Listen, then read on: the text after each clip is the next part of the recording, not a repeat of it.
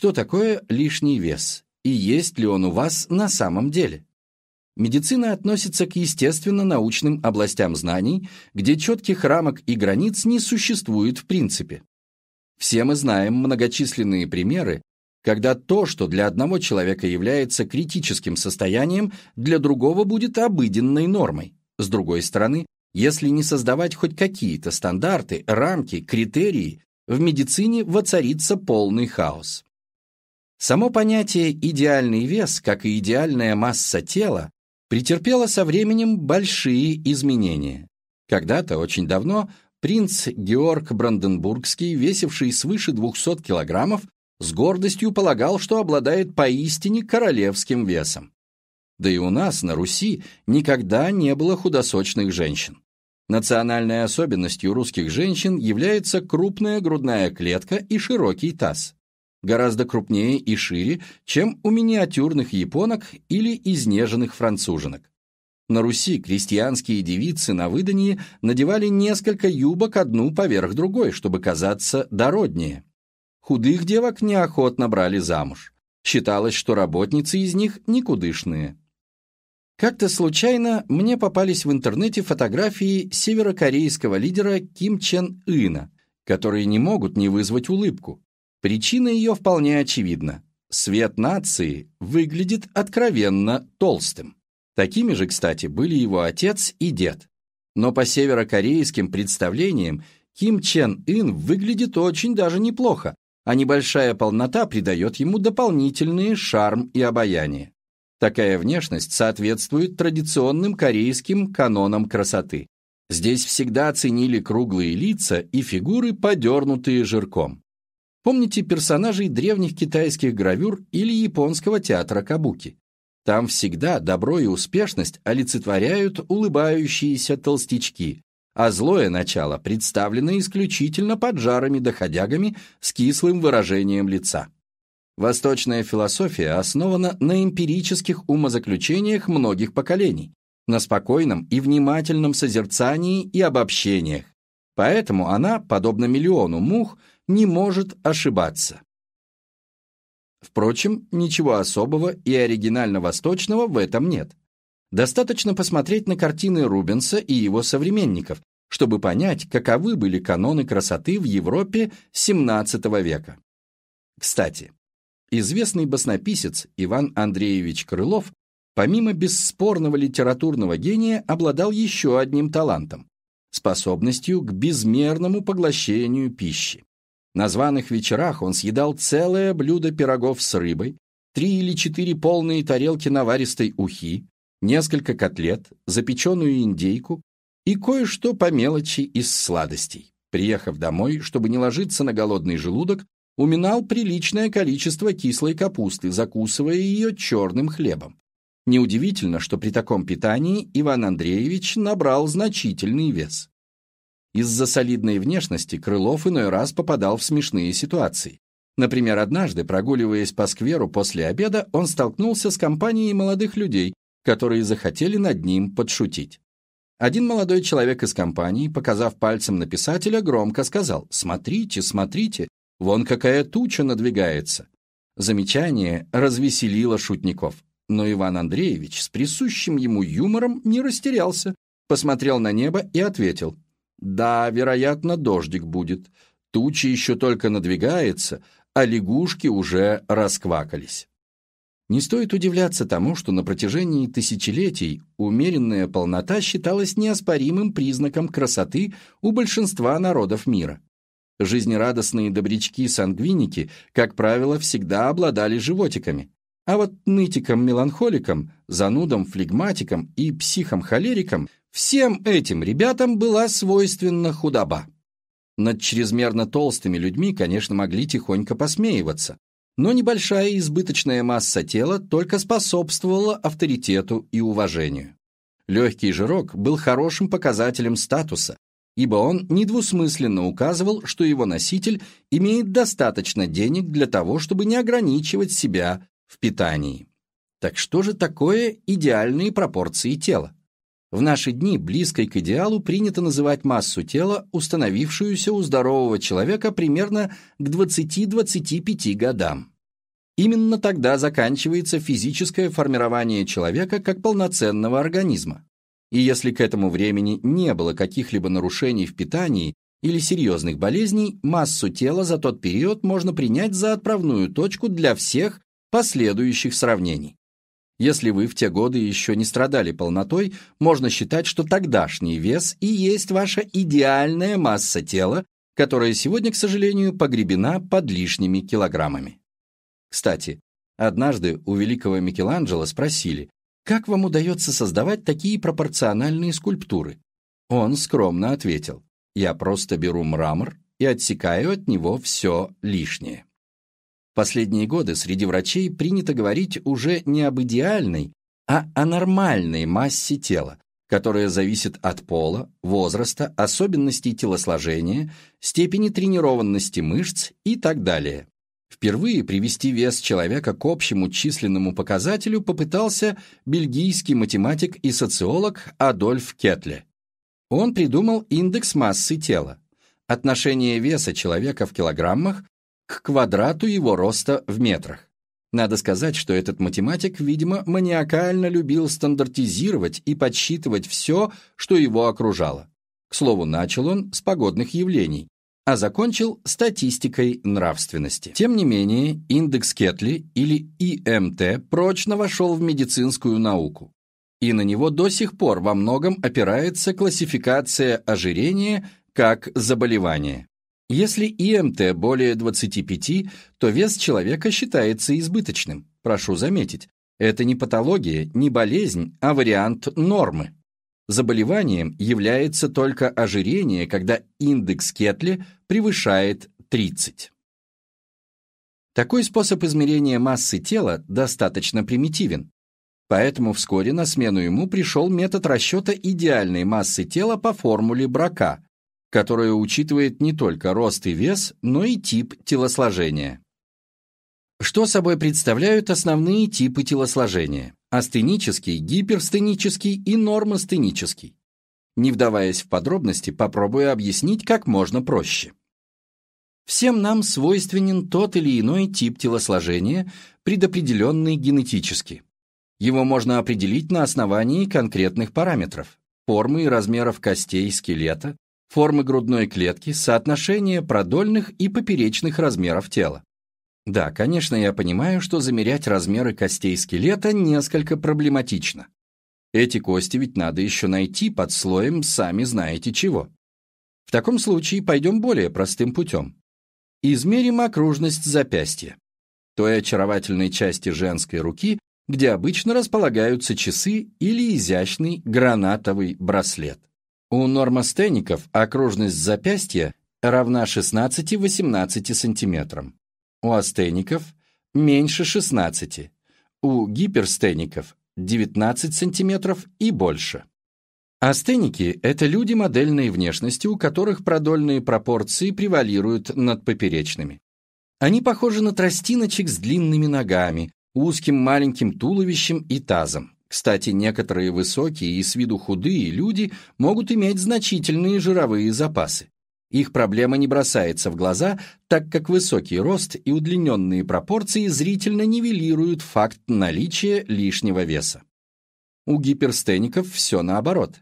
Эдакие крепыши с широкой грудной клеткой и короткими крепкими ногами. Такие коренастые и низкорослые люди могут годами мучиться от комплексов и безуспешно пытаться похудеть. И все из-за того, что они лишь кажутся полными. На самом же деле, у них может вовсе не быть избыточного жира. Просто такова их природа. Про них еще говорят «кость широкая». Дамы, которым досталось гиперстеническое сложение, широкоплечие, с хорошо развитой, широкой и небольшой по длине грудной клеткой, мощными и имеющими значительную толщину костями таза. К сожалению, представительницы этого типа имеют выраженную предрасположенность к избыточному весу. Ну а нормостеники по понятным причинам находятся где-то посередине.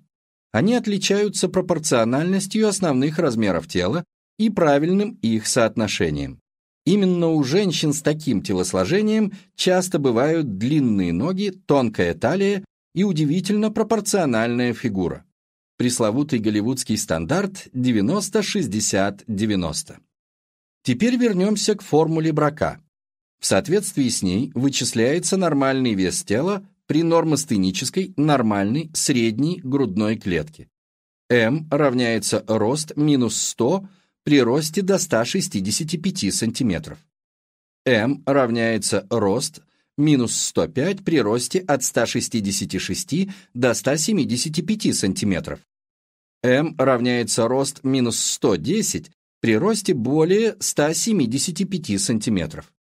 Если у вас узкая грудная клетка, астенический тип телосложения, следует уменьшить полученную таким образом величину на 10%.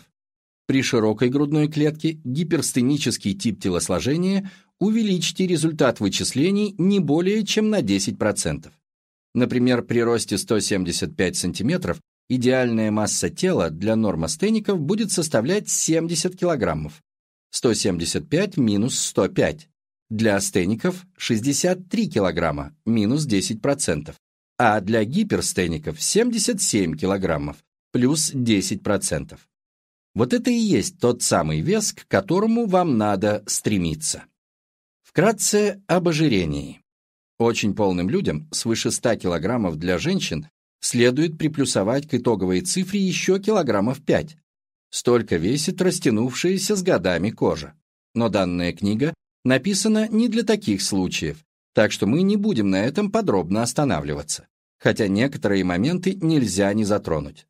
Довольно простой и достаточно точный критерий оценки распределения жира – отношение окружности талии к окружности бедер. В идеале этот показатель у женщин не должен превышать 0,8, а у мужчин – 1 целую. Если же говорить еще проще, то окружность талии у мужчин должна быть меньше 94 см, а у женщин не превышать 80 см. Только не надо сразу бросаться на поиски сантиметровой ленты. Раз вы слушаете эту книгу, замеры могут вас и не порадовать. Возможно, кое-кто из вас даже не помнит, когда их показатели приближались к этим цифрам. Но даже если так, не торопитесь обрушивать самооценку и списывать себя в утиль или утягивать талию до 48 размера. Выслушайте сперва мои доводы и предложения. Все, конечно, плохо, но я знаю решение проблемы, и вместе мы обязательно изменим ситуацию к лучшему. Для тех, кому это интересно, выделяют четыре степени ожирения и две стадии этого заболевания – прогрессирующую и стабильную. Если, согласно расчетам, ваш сегодняшний вес превышает нормальную массу тела всего на 10%, то вам несказанно повезло, ибо это только начальная или первая степень ожирения. Если превышение нормальной массы тела составляет от 20 до 50%, то повезло уже вашему врачу-диетологу, который не останется без работы, поскольку это ожирение второй степени. Ну а если страшно подумать, ваш вес превышает норму более чем на 50%, то речь идет об ожирении третьей степени. В таком случае врач сможет лишь поддерживать ваше существование, потому что жизнью это назвать нельзя. Недавно выделили и четвертую степень, но я надеюсь, что эта песня точно не про вас. Кстати, Организаторы чемпионата мира по футболу пообещали выделить местным толстякам особые бесплатные места на стадионах. Но с одним условием. Чтобы получить билетик безвозмездно, человек должен был представить справку о том, что он действительно толстый. Для этого, по бразильским правилам, он должен явиться к врачу, чтобы тот засвидетельствовал, что индекс массы тела пациента больше 30. Затем, опять же, по бразильским законам, человек получает статус инвалида, и сразу после этого можно идти за бесплатным билетом. А можно просто похудеть и занять на стадионе то место, которое вам хочется. Правда, уже за деньги. В чем преимущество биоимпедансометрии? Все рассмотренные выше методики крайне просты, но весьма приблизительны. Гораздо информативнее и объективнее используемые в медицине приборные методы исследования состава тела которые определяют точное количество жировой и мышечной массы. Они-то и дают однозначный ответ на вопрос, можно ли и нужно ли вам худеть. Существует относительно простой и безопасный метод. биоимпедансометрия. Под сложно проговариваемым термином скрывается мгновенный способ оценки как изначального состава тела, так и динамики его изменений в процессе похудения. Принцип работы прибора заключается в следующем. Сквозь тело исследуемого проходит электрический ток, столь слабый, что его не в состоянии почувствовать ни один человек. При этом различные ткани сопротивляются току с разной силой. Вот это сопротивление как раз и измеряется. Затем на его основании анализатор оценивает состав тела. Сама процедура занимает в 10 раз меньше времени, чем процесс раздевания пациента перед ней. Все просто, быстро и эффективно. Такие приборы сейчас есть во всех клиниках, занимающихся коррекцией веса. Вполне естественно, что этот несложный метод охотно взяли на вооружение производители медицинских и бытовых весов. И сегодня уже продается колоссальное количество всевозможных дорогих устройств, умеющих анализировать состав тела.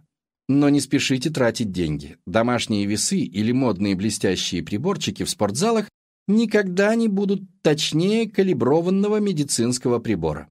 Эти игрушки чаще всего измеряют только состав нижней части туловища, ведь электрический импульс проходит по наименьшей траектории от ступни к ступне. А в ногах, как говорят, правды нет.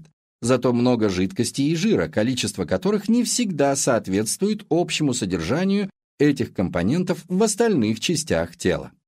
Одна из самых распространенных ошибок при самостоятельных попытках похудеть – неверная оценка собственного тела.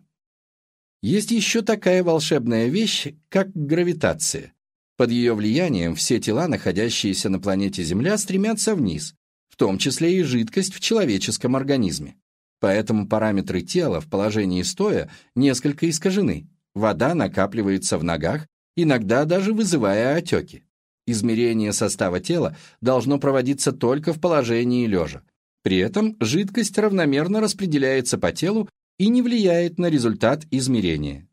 Предвижу закономерный вопрос, где же найти такой чудо-аппарат, если диетологических клиник в округе нет и в помине?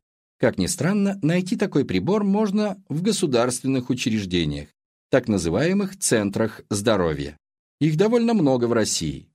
Возможно, один из них притаился и в вашем городе. Имея полис медицинского страхования, вы можете не только пройти там биоимпедансометрию, но и сдать анализ крови, узнать свой уровень холестерина и глюкозы, сделать ЭКГ и посетить кабинет лечебной физкультуры. Сказка.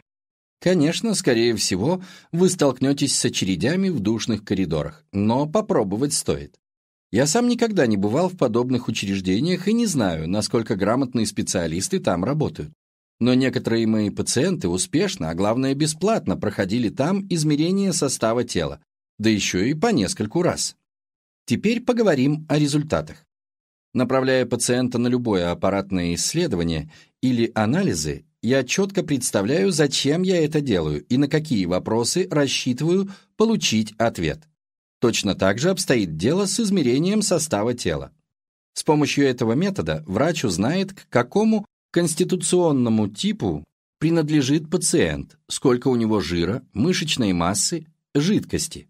А зная абсолютное количество жиров в организме, можно грамотно разработать тактику избавления от их излишков. В случае, когда измерение состава тела ничего лишнего не выявило, а похудеть все равно очень-очень хочется, стоит хорошенько подумать и обратиться к диетологу или к психиатру. С легким оттенком анорексии. Иногда под влиянием обид, зависти или несправедливой критики нам кажется, что в нашей внешности немало изъянов. Ну не нравимся мы себе. А поскольку заложенные в нас природой рост, черты лица, длину ног мы изменить не в состоянии, то основной удар принимает на себя подкожный слой жира. И тут начинается бесконечная борьба. Диеты, тренировки, косметологи, массажи, лишь бы избавиться от этих противных округлостей, выпуклостей и складочек. Часто молодые девушки на приеме жалуются на низкую скорость похудения. Но после подробного опроса и измерения оказывается, что худеть-то там в сущности и некуда. Не так просто заставить организм отдать то, чего у него и без того немного осталось. Тем не менее, особо упертым барышням это все-таки удается. И вот тогда начинаются настоящие проблемы.